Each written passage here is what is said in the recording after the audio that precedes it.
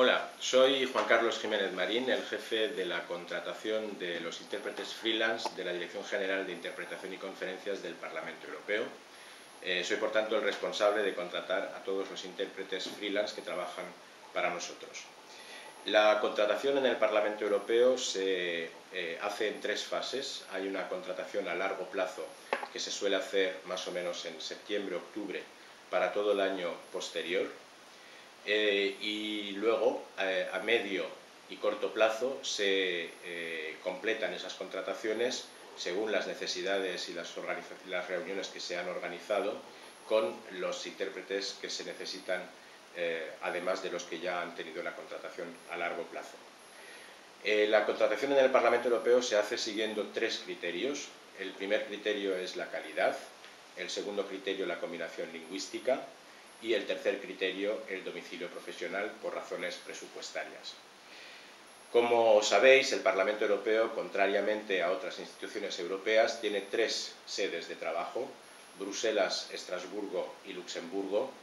Eh, las reuniones de las comisiones parlamentarias de los grupos se celebran en Bruselas, la sesión plenaria en Estrasburgo, que son nuestras dos sedes principales para eh, la interpretación. Precisamente porque trabajamos en diferentes sedes, y porque en Estrasburgo hay muy pocos intérpretes, en algunas cabinas ningún intérprete local, el Parlamento Europeo, contrariamente a otras instituciones europeas, contrata no solo a intérpretes con domicilio profesional en Bruselas, sino también con domicilios en prácticamente toda Europa. Lo cual significa que en cabina española, más concretamente, contratamos evidentemente eh, regularmente a intérpretes con domicilios profesionales en España, entre ellos en Barcelona, y muchos de nuestros compañeros de Barcelona que trabajan para nosotros regularmente son también miembros de AIB. Eh, en una sesión plenaria, el número aproximado de intérpretes que necesitamos para poder cubrir todas las reuniones es de unos mil.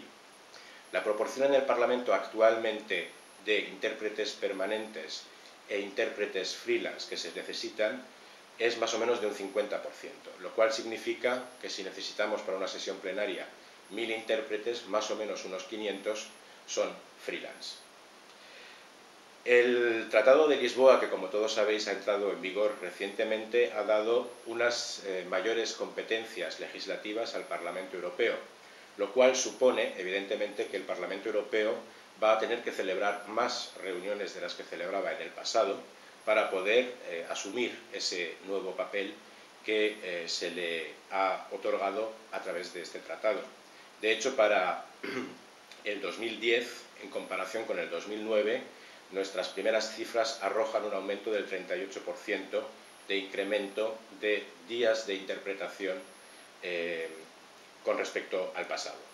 Eso significa que puesto que ese aumento del volumen de trabajo no se corresponde proporcionalmente con el aumento de puestos en el organigrama para plantilla fija, para la interpretación, que esa proporción 50%, 50% permanentes y freelance probablemente en los próximos años eh, irá cambiando ligeramente para que eh, en, en, realidad en ventaja de los freelance porque seguramente serán más eh, los freelance los que necesitaremos en el futuro. Para concluir, eh, quizá hablar breve, voy a hablar brevemente de la importancia del español en el Parlamento Europeo.